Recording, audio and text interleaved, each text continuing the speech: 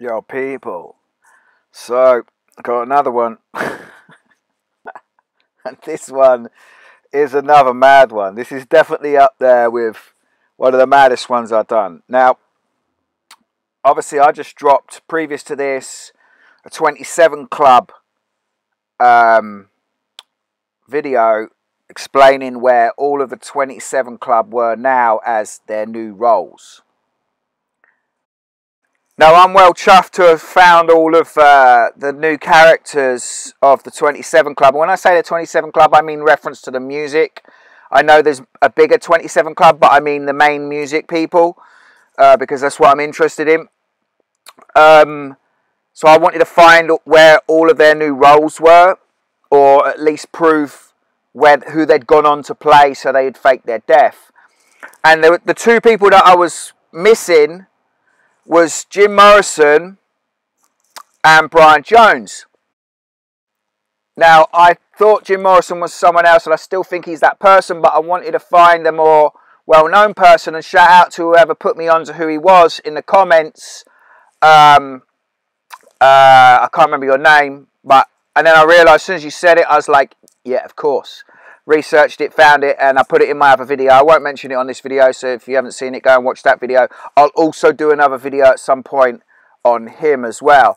But the last person to find, and I literally found this yesterday whilst before I did this video, was Brian Jones. So I thought, right, I've only got Brian Jones to find now. So I thought, I want to do this video, but I've got to find Brian Jones. I just Googled Brian Jones lookalikes, bang, and this popped up. And I just saw it straight away. I just was like, yes. Intuitively, I just saw it. I knew it was right. And I went and did the 27 Club video. So I'll put that at the, at the end of this thing. But go and see that video uh, if you've not seen it after this.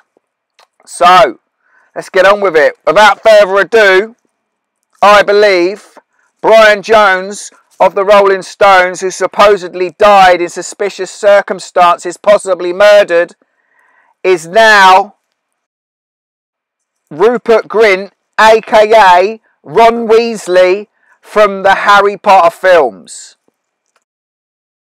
And there he is. Now, this is just mental. Now, like I said, I saw the lookalike pictures and comparisons, and I was just saw it straight away. I've been into this stuff enough, long enough now to know what's going on, or to know to a to a certain level what's going on, and to understand how they can do these things. And a year ago, I would never have believed th- this would be the case. But you know, the more you deeper you go, the more you're into the more you awaken, the more you see that they're doing things that are not what we call uh, normal uh, in our reality. So you know, the first thing you think is, how can Brian Jones, who died and was an adult uh, and died at obviously 27, be come back as a kid in a Harry Potter film. Now, I cannot say for definite I know how they do all this, but over this video I'll put across what I believe is possible possibilities of, of how they do this. So uh, there he is, obviously there with Daniel Radcliffe and Emma Watson from the Harry Potter films. Now, I can't stand Harry Potter. I think I watched the first film. I couldn't even tell you what goes on in it. I cannot stand that wizard shit. That and Lord of the Rings, it's all bollocks to me. I've no interest in it and it just annoys me that people like that shit so much. But each to their own. But you know, J.K. Rowling, she's blatantly part of it. I'm not sure who she is. I've not looked into her, but she's definitely another actress. So uh, there's there's the Rolling Stones back in the 60s. Um, there's Brian Jones. Notice how much smaller than he is to, to Mick Jagger. So this is the photo that I googled and I found, totally lookalikes, and um, uh, this is where I saw it. I just saw it straight off from this, and I was like, wow. And then found various other ones. Look at this one here, looking even more like him. You know, that's a blatant connection there. Look what he's wearing and the same haircut, man. It's ridiculous.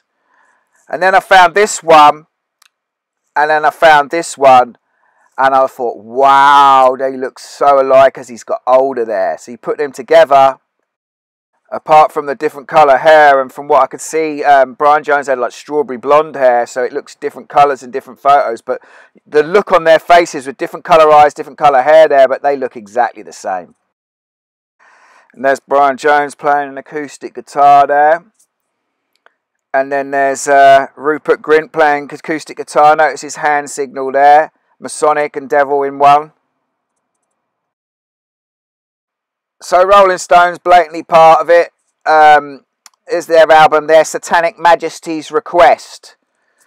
Interesting title, especially apt as I'm releasing this over the Queen's Jubilee weekend. So let's look at the album cover.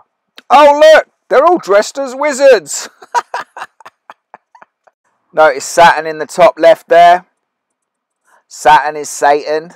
Saturn worship, Satan worship all the same stuff. So here's a little bit of a better view and it on the tape. You can sort of see it's a bit of a clearer picture. But you know, he's definitely wearing a wizard hat there. There's no doubt about it. And there's Brian Jones uh, on the second to the left, dressed in wizard stuff. That's um, Mick Jagger on the right. But look at this Rolling Stone magazine, Rolling Stone, Rolling Stone's Guide to Harry Potter, rock stars that could be wizards. Blatant little link there. And then check this out Rupert Grint's Magic World of Hex, Drugs, and Rock and Roll. now, for, for those of you who don't know what hex is, a hex is like a magic spell and this where that comes from is Saturn's strange hexagon clouds, as you can see here. That in the middle of the Saturn clouds there's a, he a hexagon, and that is where the word hex comes from, because a hex is what a witch does, and the witch is doing Saturn worship. And Saturn worship is ultimately what they call quote unquote black magic. Which is ultimately what they've been doing to us for years through all of this music and all of uh, the media, films, Hollywood, etc. So how does Brian Jones become this kid in Harry Potter? So I can't profess to know, but from what I've learned over my videos, and those you've been, been watching my videos, you'd understand this, is that they stay young for a very long time and they are possibly immortal.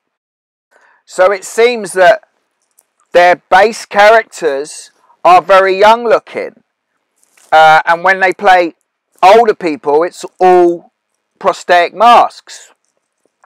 But this is just presuming because there could be something else going on here that they have the ability to change the way they look. But when you think about films and how they make it in the films, it's very easy to make all the props bigger. Uh, I've got a few examples here. To, uh, obviously, these are exaggerated, but make all the props bigger to make the people on the film look smaller. So that's possibly that they could just be adult size in those early films, because obviously now they're in the films and they're adults, but they were adults in the early films, and that they've just been made to look small by all the props being made bigger. So let's look at some stats. So Brian Jones died at age 27. Um, and he died in 1969 and he was five foot six. So he was a small guy. Rupert grint is supposedly five foot eight. So interestingly he's 33 at the moment which is a great little uh, synchronicity. So brian jones died in 1969 and there was loads of rumors about that he'd been murdered. So here's a netflix documentary on it. Interestingly he made a soundtrack for a film in 1967, two years before he died, called A Degree of Murder. Interesting degree, Freemasons, 33 degrees. There's a little link there. But he made this film and it was starring his girlfriend, Anita Pallenberg. And this is her with Brian Jones there. So let's have a look at Rupert Grint's girlfriend, or and this is her here. Georgina Groome and if you can make the look at these comparisons here, you start to see very, very similar. And if you compare these ones here, her with Egyptian eye makeup and this one with Egyptian eye makeup, they look very, very similar. Different eyebrows and she's got a fringe, but the eyes and the face look, look very, very similar. So then I noticed Brian Jones had another partner, Zouzou. So I'd never heard of this Zouzou, so I googled Zouzou, and uh, apparently she was a uh, French actress and model. So I thought, well, I wonder who she is. I wonder who she, if she's part of it. I thought, I wonder if she's Emma Watson. Now I don't know these films, so apparently Ron and Emma Watson get it together. So I didn't know that. So then I thought, oh, that's interesting. So I googled Zouzou looking younger, and this is what I found. I thought, oh wow, that's Emma Watson. Definitely. And when you compare all these photos, you can see that Zouzou, when she was young, looks very, very much like Emma Watson. I mean, look, so, so similar. They've virtually done nothing. Maybe something, but just the haircut changes. It's all I can really see. Maybe the eyebrows or something, but they've not really done a lot. That's Zouzou there. Emma Watson. I mean, it's so, it's blatantly the same person. That one. This is the one that got it for me. That's, that's just Emma Watson. I could see it straight away. And then I realised that both Emma Watson and Rupert Grint starred together in a 2014 film of Peter Pan. Blatant. So then I found this picture of uh, Rupert on holiday with his mum, and then this picture of Brian Jones's mum and dad. They look very similar.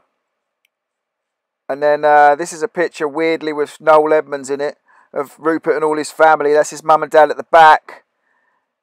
So if you notice the woman there on the right, obviously, looking very, very similar. And then uh, we have the dad, obviously. Notice the ears and the hair. And then look at the dad here on the left. Ears and hair. Very, very similar. Prosthetic makeup. Change the looks. Easily could be the same people. So yeah, I mean, what can I say?